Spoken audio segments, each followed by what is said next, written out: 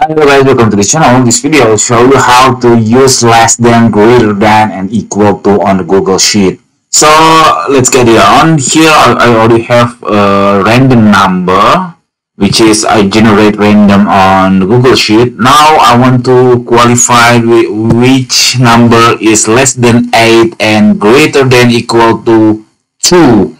So how to do that? It's actually it's really easy. What you have to do is using and function because you have to meet those of two criteria to uh, to identify the numbers. So uh, I, I will tell you the concept first. So I put and and then of course the uh, the number and then less than 8 comma and then the number greater than equal to 2 close the bracket hit the enter and then I put enter. As you can see see the 8 number is not meet the less than 8 and then the 2 is meet uh, greater than 2 and then less than 8 and so on and so on and so on. So I can classify which number is uh, meet the, the qualify uh, the qualification disqualification or not.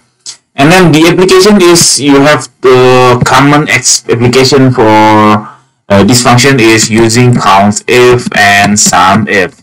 If you do like this it's really easy. What you have to do is count if count if here which is true.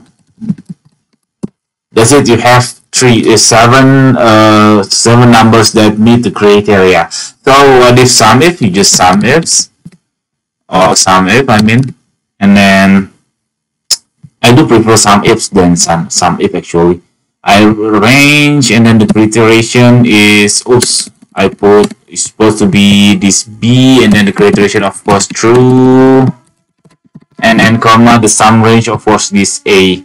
And then close the bracket. Now I have sum all of those. And then instead of that you can instead of using this uh, identifier you can do for count if like this count ifs you have to click the count ifs. And then count if the criteria range is here and then the criteria is comma and then you put the upper the quotes and then less than quotes and 8 and then hit the comma and then put again this criteria range and then comma for quotes greater than equal quotes and operator and then put 2 then hit the enter.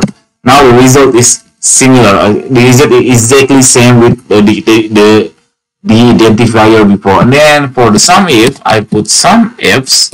Remember you have to put ifs with s and then the sum range and then hit the comma and then the criteria range. Of course uh, the number itself and then the comma iteration put the quotes and then less than and operator 8 do the same for the greater than.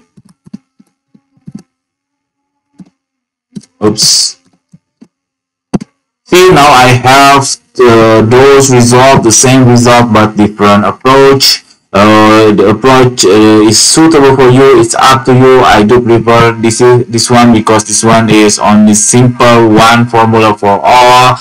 And then for you you can choose by yourself. Okay that's it. This tutorial. I hope it's helpful for you. If it's please subscribe our channel. And then if you have any question please put in the comment below. Thank you